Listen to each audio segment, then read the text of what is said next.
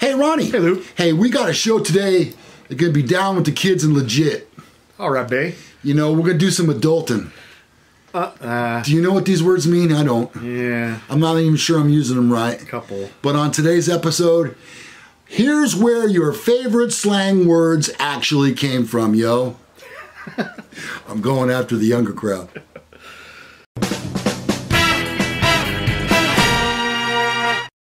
There, welcome to another episode of Men Are So Smart. I am Lou Gallagher. And I'm Corvette Ronnie. Nice to have you with us. Thanks for watching today. We appreciate it. Hope you'll enjoy the show. If you do, please give it a thumbs up, like it.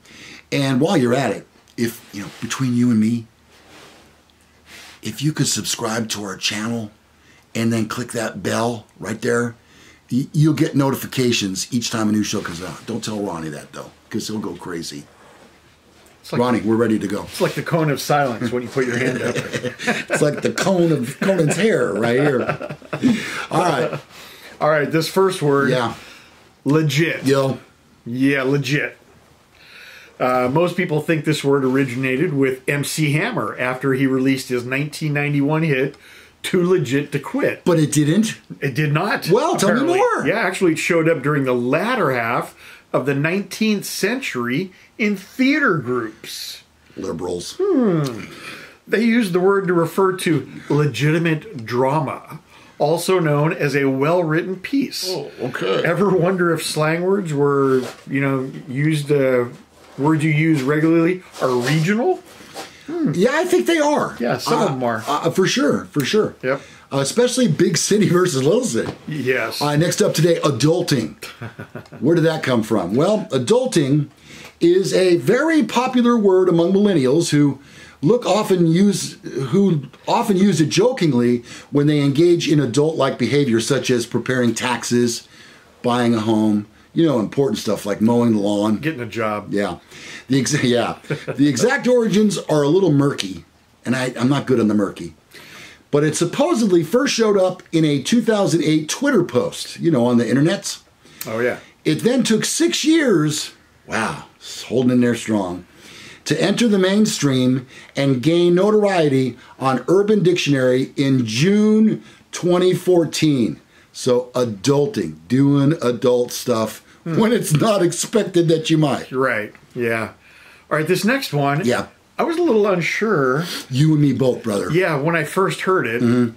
but it kind of now makes sense. Mm-hmm. Uh, throwing shade. Okay. Yeah, throwing shade seems like it could be an Olympic sport.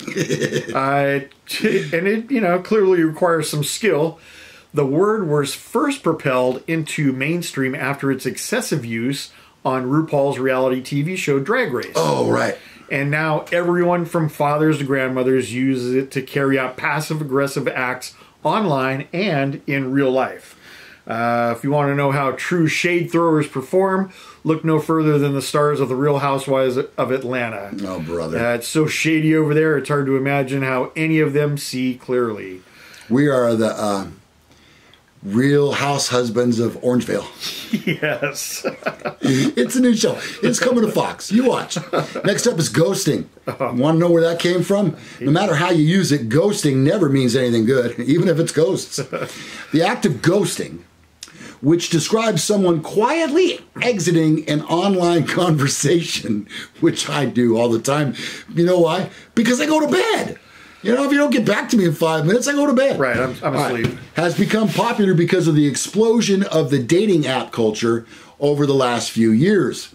There's no clean origin story for this word, but it seems to have organically arisen in the post 2012 dating app boom. Swipe left, swipe left, swipe left. Not that I would know. Of course not. I don't No. spend a lot of time on the dating sites. You know why? Wife frowns on it. Yeah, yeah. It, it, well, it's expensive too. True. Yeah, Yeah. I can barely afford one woman. How could I afford 2 Mm-hmm. Uh, this next one, basic. Basic. Okay. Mm-hmm. Basic. So it's base. It's shortened from another slang term, basic bitch. Oh, oh, Yeah. oh! I see. I get it. Yeah, basic is a uh, an adjective to describe somebody who slavishly follows the mainstream and is a conformist according to uh, you know your meme.com. There is nothing original or special about this person, although the term gained more relevance in 2017. It's been around for a while. Basic first appeared on, in the Urban Dictionary in 2009, but went down in 80s music history with the hit jam from Klymaxx. Meet Me in the Ladies' Room. I remember that song. I used to play that song on the radio. I never heard that song. Oh yeah, it's great. It's a jam. It's my jam. Next up, Ron, you know what you are? I'll tell you what you are. You want to know what you are? I'll tell you what you are. You want to know? I know what I am. Salty. I am salty. What the hell does that mean? well, no longer is salty simply used to describe food. it now applies to people.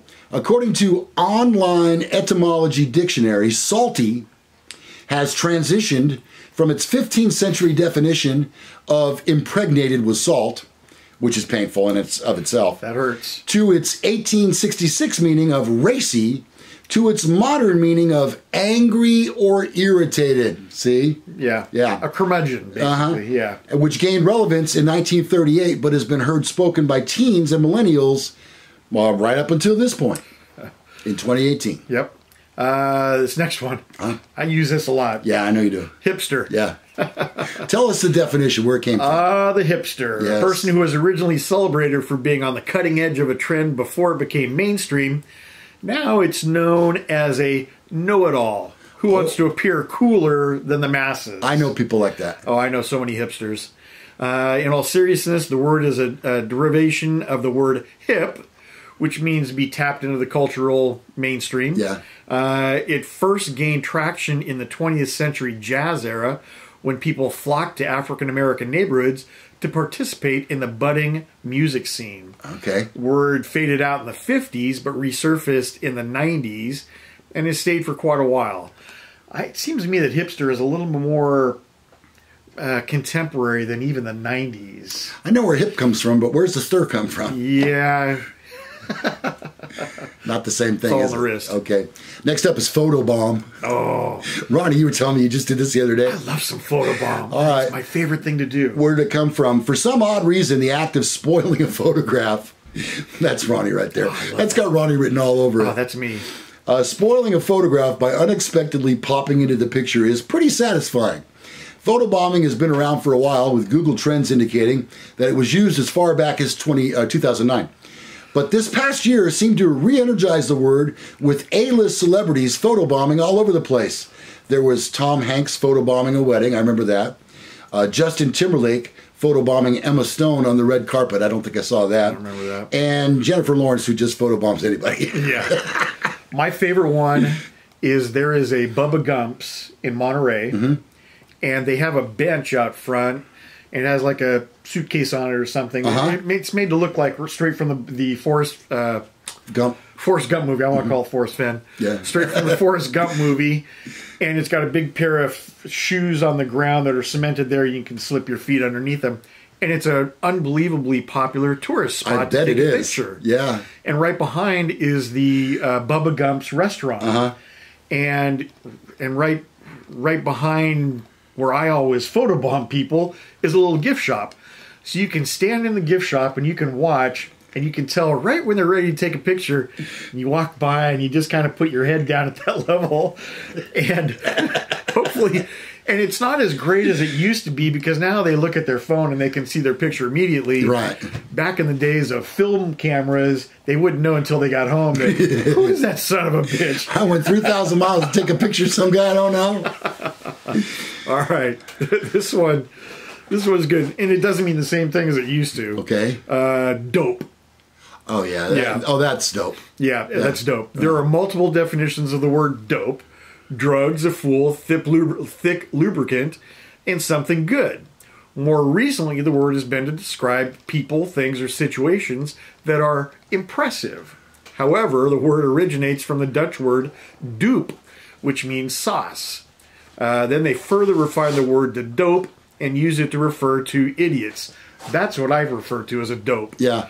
Uh, then in the early 1800s, it came to describe any thick lubricant, which I have. They use dope uh, lubricant uh, on Oh, plumbing. pipe- pipe yeah, dope. yeah, Pipe right. dope, yeah. That's right. Uh, eventually, it came to be more specifically described the goop-like brown gunk known as opium. Uh, so Boy, this went south fast. yeah, that's crazy. Uh, we should read ahead. yeah. No, are you kidding? Put in that kind of effort. And finally, today on our list, wino. No, I'm not talking about my wife. you go downtown. Yes, we know some people truly love their wine, but why they refer them to themselves as winos have yet to be determined until now. One of the first recorded uses of the word came from Jack Black's, no, not that Jack Black, 1926 hobo memoir, You Can't Win. There's also that incident from the 90s when Johnny Depp and Winona Ryder split up after about three years together, and he famously altered his Winona Forever tattoo to Wino Forever. If he's That's got nothing funny. else, he's got a sense of humor. Come on. Yeah. Come on, care who you are. Yeah, that's Wait a that's minute. good. Okay. So that will wrap up our list today of uh, slang words and their origins. If you have some you'd like to add and we missed, we'd love to hear from you in the comment section below.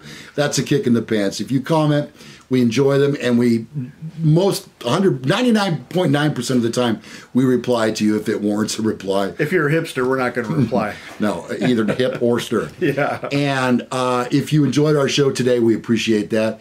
Give it a like. Please subscribe to our channel. It's very easy to do.